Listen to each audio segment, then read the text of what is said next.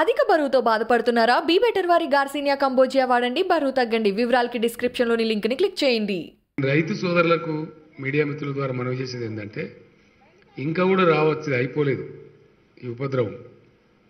ఇంకా కూడా ఇంకా రెండు రోజులు మూడు రోజులు అక్కడక్కడ రాళ్ళు పడే అవకాశం ఉందనేటువంటి ప్రెడిక్షన్స్ వాతావరణ శాఖ వాళ్ళు ఇస్తూ ఉన్నారు. ఇంకా కొంచెం నష్టమైన జరగవచ్చు అక్కడ కూడా. రైతులు కానీ నేను కోరేది ఒకటి ఏంటంటే ఇండియాలో కానీ ప్రపంచంలో కానీ ఎక్కడ లేనటువంటి వసతులు తెలంగాణ రైతాంగానికి చేకూర్చి వాళ్ళని కడుపులో పెట్టుకొని ఒక ఉన్నత స్థితికి తెలంగాణ రాష్ట్రంలో మన వ్యవసాయాన్ని తీసుకొని పోగలిగినాం. మన రాష్ట్ర జీడిపి కూడా బాగా పెరుగుతూ ఉంది రాష్ట్ర ఆదాయం కూడా పెరుగుతూ ఉంది ప్రజలకు పని దొరుకుతూ ఉంది పల్లెలను సుఖ సంతోషాలతో ఉన్నాయి.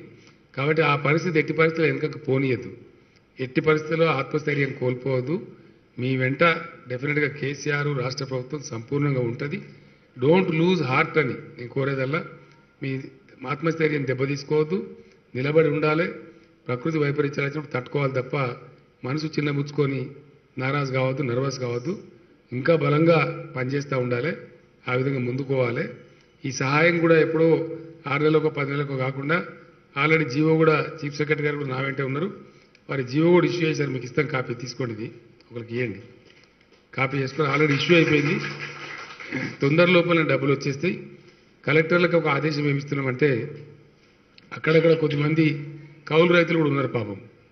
వాళ్ళు మొత్తమే మునిగిపోతారు కాబట్టి రైతులను పిలిపించి మాట్లాడి సమన్వయం చేసి కౌలు రైతులకు కూడా వాళ్ళకు కూడా మరీ అన్యాయానికి గురి కాకుండా కొంతలో కొంత వాళ్ళకు కూడా సహాయం చేయమని చెప్పి చెప్తున్నాం. సో దట్ వాళ్ళు కూడా పూర్తి మునిగిపోకుండా ఉంటారు కాబట్టి ఆ ప్రకారం చేయమన్నాం. అది చీఫ్ సెక్రటరీ గారు ఆదేశాలు ఇస్తారు. దాని ప్రకారంగా వాళ్ళని కూడా కొంత ఆదుకునే ప్రయత్నం చేసుకుంటాం.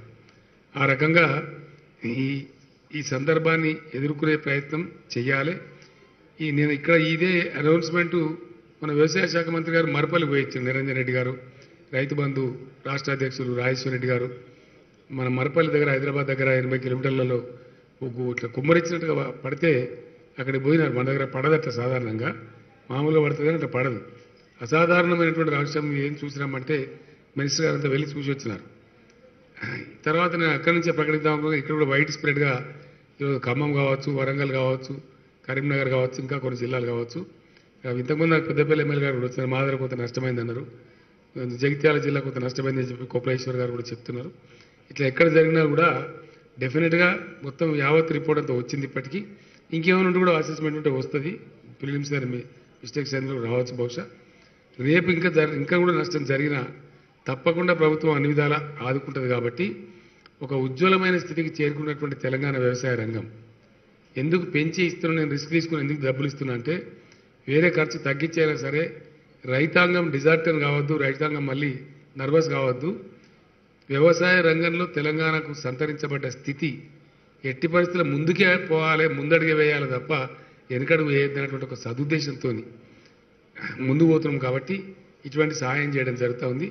దీన్ని అందిపుచ్చుకొని రైతులోకం పెద్ద ఎత్తున గొప్పగా ముందుకు రావాలి ధైర్యం కోల్పోకూడదని నా విజ్ఞప్తి థ్యాంక్ యూ. అధిక బరువుతో బాధపడుతున్నారా? బీ బెటర్ వారి గార్సినియా కంబోజియా వాడండి. బరువు తగ్గండి. వివరాలకి డిస్క్రిప్షన్లోని లింక్ని క్లిక్ చేయండి.